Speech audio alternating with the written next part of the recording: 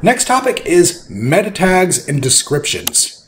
Best practice for these is to write a compelling meta title and description that accurately represents the content of that particular page, including the target keywords, and use it naturally while keeping it concise and engaging. Now, a couple things to remember about the meta tag and description is these are what you see when you do your search right there in the organic section. So you're going to have just a short little snippet to be very concise about who you are, what you do, where you do it. And where possible, utilize what you use on the H1 of that particular page for that meta tag and use that keyword again in the title and meta description. Like for example, to go back to the plumber again. If I used commercial plumber service and the H1 tag of that particular page talking about their commercial services, I would definitely put that in the title tag as well as in the meta description, which is just a short little sentence to say who you are, what you do, where you do it, while focusing a little more hyper specific to the content of that particular page. So that way, when someone does a keyword search for commercial plumbers near me,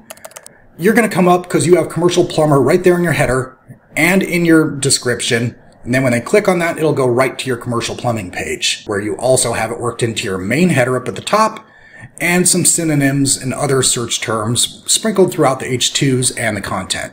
So that's your best practice there.